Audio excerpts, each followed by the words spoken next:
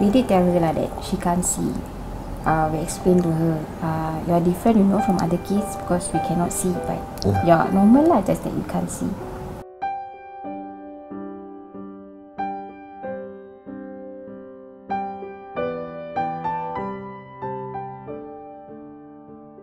I don't know whether she understands or not, but she's not like sad or what when she bang into things or what like So far, there's no sign of agitation Yeah, from her. frustration, frustration or or what, what, uh, because no crying, no anger, what, just Yeah.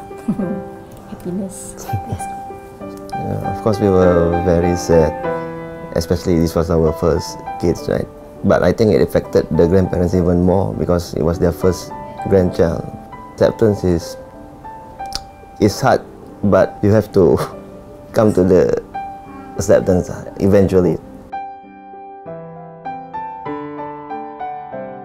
Right now, we are still young. We are both still working, so it's still okay for us. But the the first thought that came to my mind was, what happened when we are old?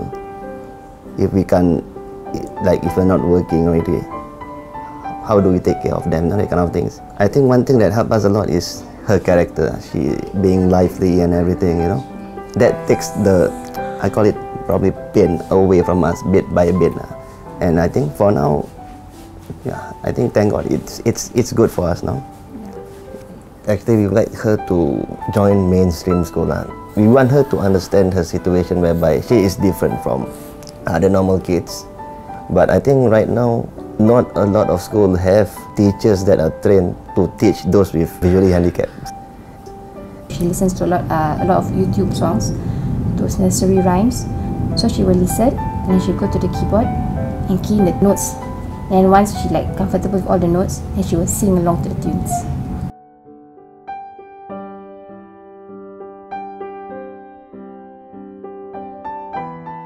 So the remaining of the money, we would like to support her interest lah.